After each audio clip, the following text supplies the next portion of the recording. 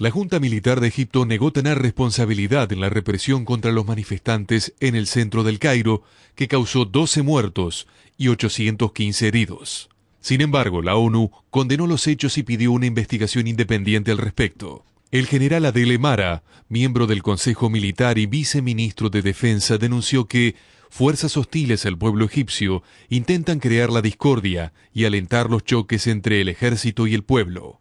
El edificio que alberga el Parlamento está localizado a unos metros de la plaza, cerca del gabinete de gobierno, donde tuvieron lugar los últimos enfrentamientos entre el ejército y los manifestantes. Por su parte, los islamistas, que participaron en las protestas masivas contra el expresidente Mubarak, actualmente no forman parte de las movilizaciones contra el Consejo Supremo de las Fuerzas Armadas y el gobierno de transición que nombró.